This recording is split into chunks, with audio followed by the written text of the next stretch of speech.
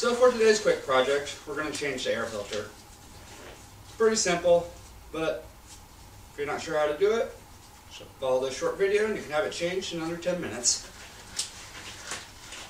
Get some gloves off Amazon, keep your hands nice and clean.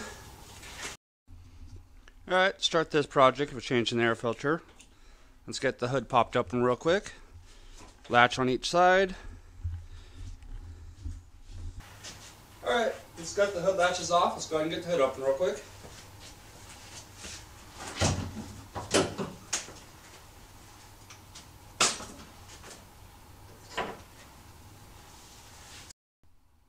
To get access to your air filter, we have four latches.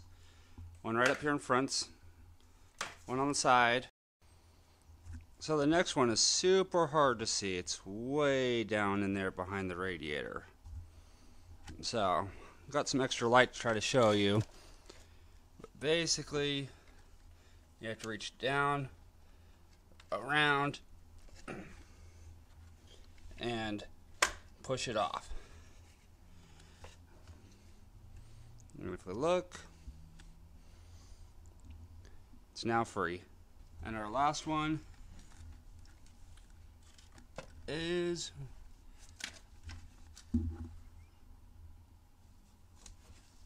right here. With all your latches off, simply lift this guy up and out of the way. This is for an 07 to 2011 and you can pull out your air filter. I play in a lot of dirt, so once mine gets this bad, it's time to change it to me. So I get these off Amazon. They're 15 bucks each.